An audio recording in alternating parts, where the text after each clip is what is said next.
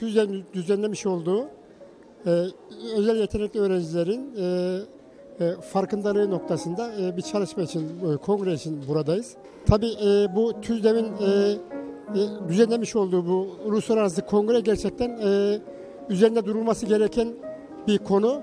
E, ins- insanlarımıza bu üstün yetenekli, özel yetenekli, yetenekli öğrenciler üzerinde durulması gereken farkındalık noktasında bir çalışma.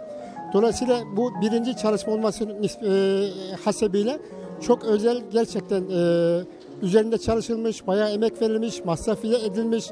E, ben bu e, TÜZDEV'in dışında aynı zamanda bu e, teknik eğitim kurumlarının e, TÜZDEV'in dışında başka organizasyonlar e, e, da, da e, bunun çalışmalar üzerinde de durduğunu biliyorum.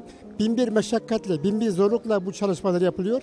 Sadece e, insanlarımızın, milletimizin, velilerimizin, e, eğitimcilerimizin bu tip organizasyonlara, bu tip öğrencilere, bu tip e, çok önemli hani yerüstü zenginlik kaynağı dediğimiz bu öğrencilerimize e, devletimizin, milletimizin, ülkemizin, eğitimcilerimizin e, özellikle de bakanlığımızın e, ilgisini e, çekmek ve e, bu noktada e, bu ara- alanlara yatırım yapmak en azından ülkemizdeki öğrenme güçlüğü çeken öğrenme güçlüğü çeken öğrencilere yapılan yatırım kadar, onlara ayrılan masraf kadar, e, verilen emek kadar üstemi ay- aynı zamanda e, bir o kadar da önemli olan e, ülkemizin e, yerüstü zenginlik kaynağı dediğimiz bu öğrencilerimize de aynı oranda e, masraf aynı oranda e, e, önem verilmesini biz çok arzu ediyoruz.